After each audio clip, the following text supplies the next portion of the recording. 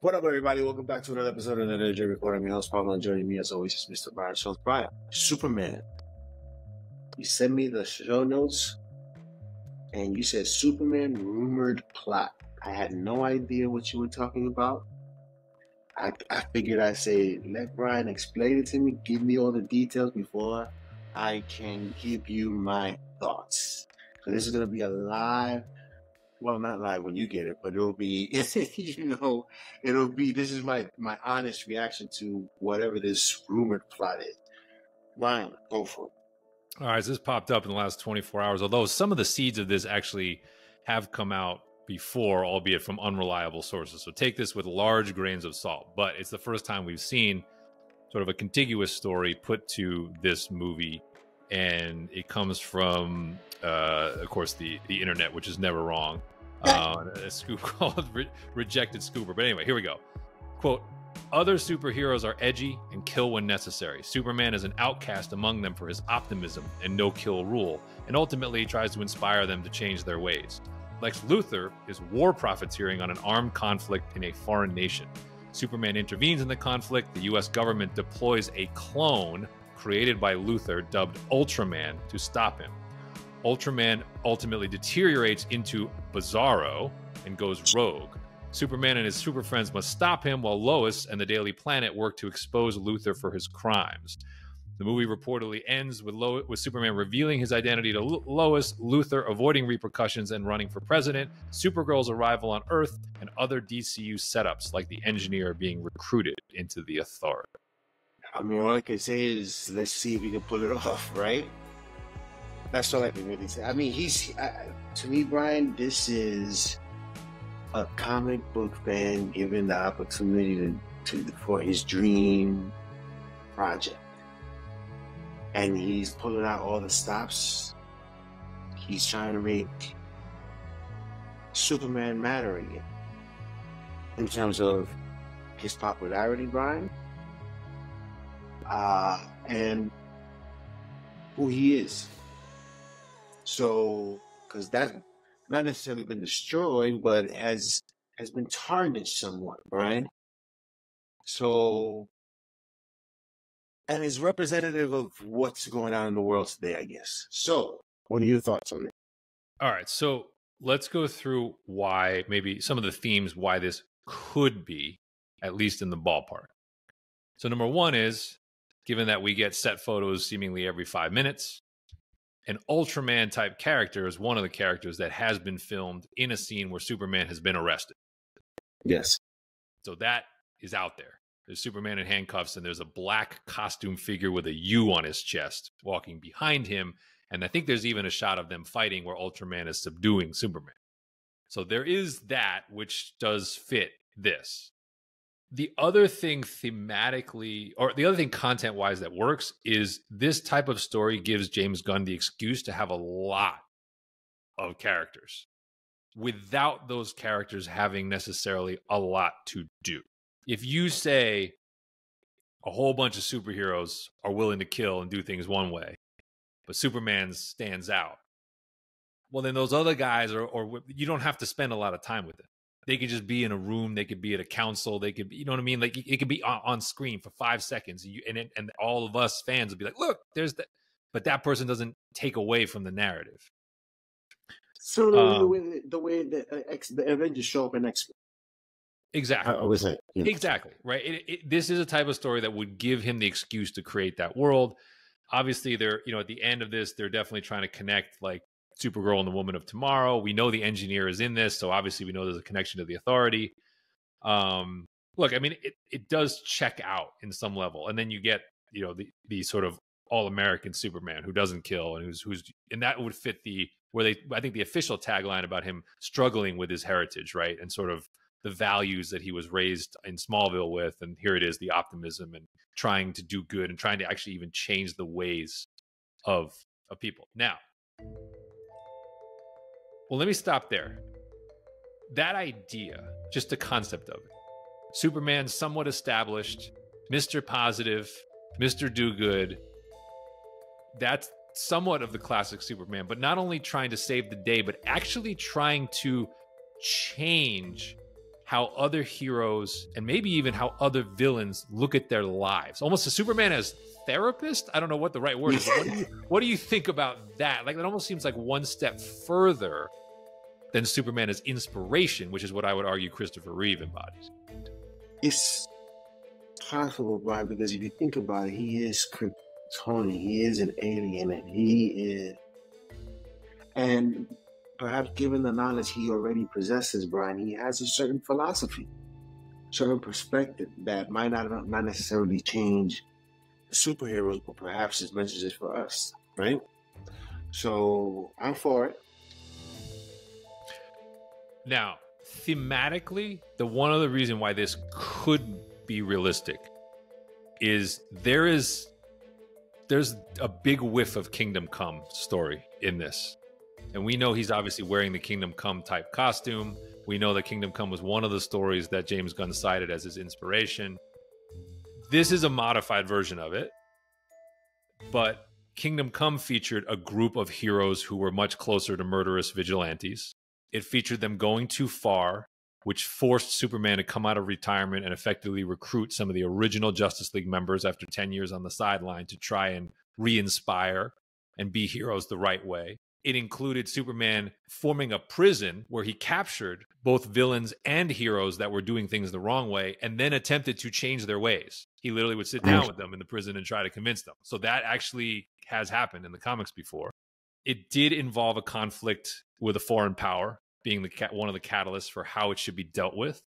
Right. And it, it did involve Lex Luthor corrupting and creating in that story, it was Captain Marvel. He corrupted Captain Marvel and turned him against Superman as the Superman level hero that could stop him. And then Superman winds up having to turn Marvel back to the good side to kind of save the world from nuclear war. But in this case, it looks like maybe Ultraman has taken the place of, of Captain Marvel, if you believe this. Now, the, the big empty piece of Kingdom Come that's not in here is Batman. So Batman is a massive character in that story because he resents Superman for quitting. And so he forms the Outsiders, which are like Green Arrow. A lot of the heroes that sort of have more questionable morals mm-hmm. team up with Batman. And over the course of the story, they at one point almost look like terrorists, but at the end of the day, they look like heroes. Um, and Batman and Superman have a have a heart to heart and a face to face where Batman kind of, you know, the moral side of him wins out.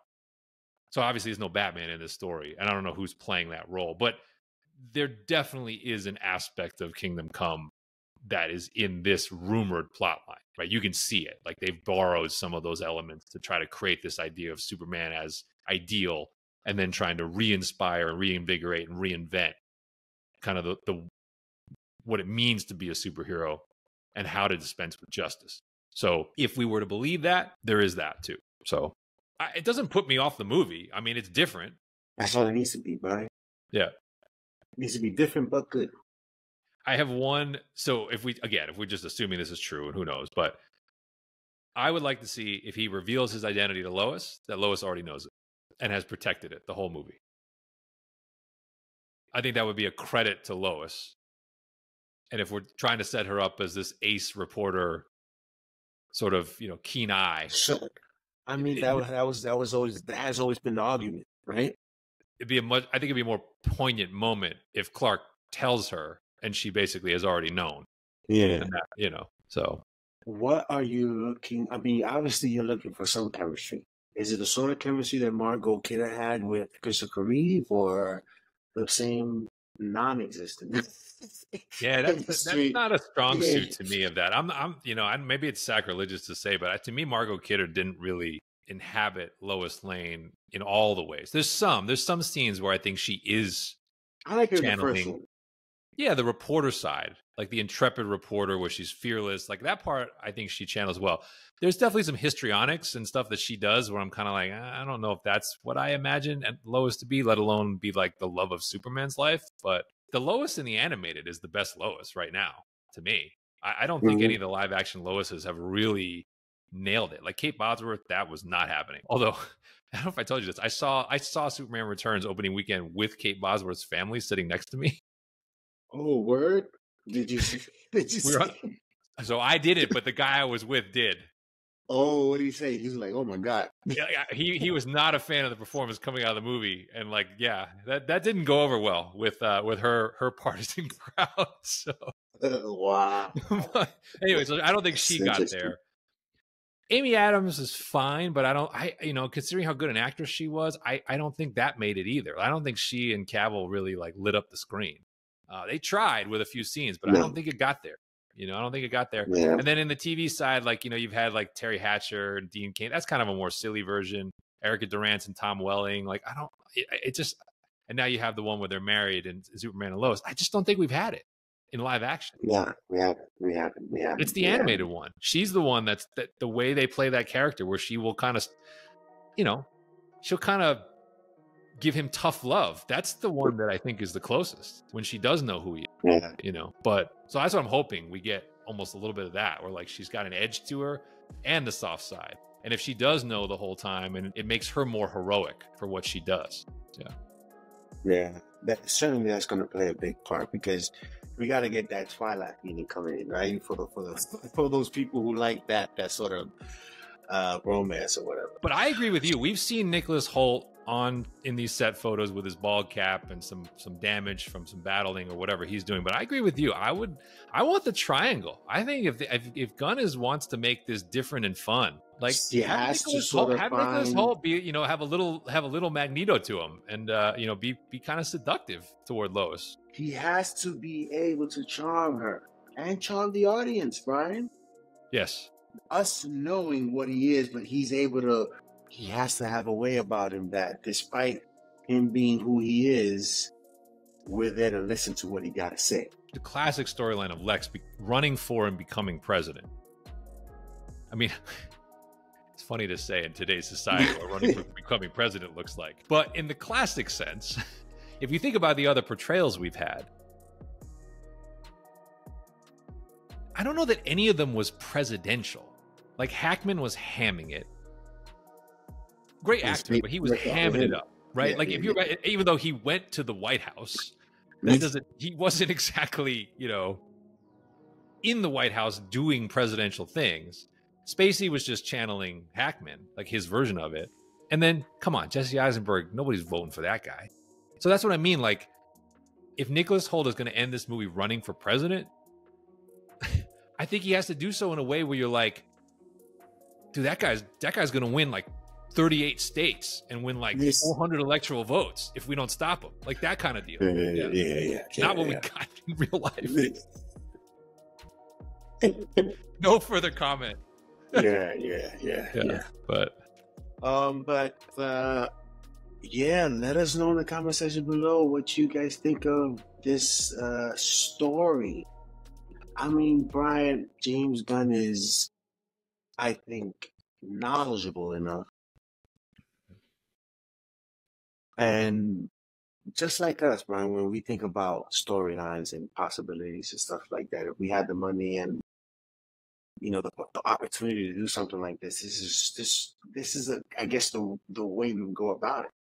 Yeah. Right. So he's given us his inspirations, which is uh, Superman All Star, and uh, he's pulling, he's pulling, and and I guess Brian, Is, did he have so much to say regarding Endgame and Infinity War, Brian? Did he have was was I'd love to hear or to know what were his notes, Brian. I want that notebook. I mean, he, he was on every project after he joined. I think for this one, my biggest, in some ways, one of my bigger concerns for Gunn would just be be careful of the too many ideas because he knows yeah. so much and he loves this character in this world so much. And there is that pressure, right? Of like, this is the movie that has to work on its own and launch it all at the same time in two and a half hours or less. Just be careful not to have too many ideas in the final cut. When I see the characters and I see all these shots, that's the other thing I would caution people is like, you don't know if all these scenes are going to even make it in the movie. Like, you know, a movie like this, they're going to shoot double probably what you actually see. So some of these cameos, some of these interactions, some of these little things we're getting out of Cleveland or wherever they've been shooting, like uh, some of it's not going to be there when, when you see the movie. Some of it will, but some of it won't. So I would just caution James Gunn, like less is more. I think when it comes to this. Yeah, man. I hope somebody's reining him in, right? That's So Kingdom Come's a great story. I mean, Kingdom Come is a is a classic story and a great story Yeah. and a fun I one. and, yeah, and I read, I read the novel. Yeah, and it's and it, and it is interesting to do it without Batman because he's so central to it. But you know, obviously, we know there is a, a DCU Batman coming at some point. So, um, so yeah, no, I think I think this can work. Could if this is right. Again, where this is pure speculation. Mhm. Who knows? You know, maybe it's totally off it. But James Gunn has not also come out and done the let me clip this tweet and say no because he does do yeah, that yeah. on occasion too, Yeah, and he hasn't done yeah, that yet. So yeah. I don't know if he can, and that because then he, if if what's being said does come out to be true, then we can't really rely on what he says ever again. True. Kind That's you know what. I'm saying? that's fair. So he's gonna he's gonna if he chooses to be quiet, then let it be what it be. We'll see it when it comes out. Uh, but yeah, let us know in the comment section below what you guys think, and we'll see you next time on the Nerd Gen Report. The show goes on!